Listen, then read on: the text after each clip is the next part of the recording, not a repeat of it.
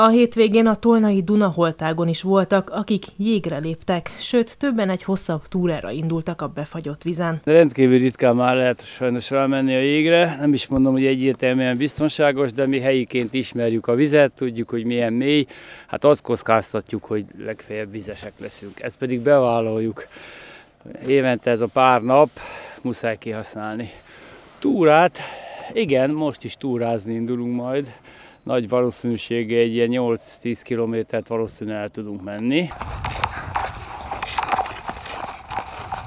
Bár sokak számára nem tűnik olyan veszélyesnek, a szakember mégis azt mondja, hogy egyelőre nem ajánlott a befagyott élővizeken korcsolyázni, hiszen amíg éjszaka mínuszok vannak, addig napközben pluszfokot mutatnak a hőmérők, ami egyáltalán nem kedvező. Általánosságban 10-12 cm az a vastagság, ami már biztonságosnak számít. A jég jól hallható recsegése, ropogása biztos előjele annak, hogy bármelyik pillanatban beszakadhat. Nem tudják elképzelni, hogy milyen iszonyatos hideg az az egy-két fokos víz, ami adott pillanatban azonnal ugye érintkezésbe lép a testükkel.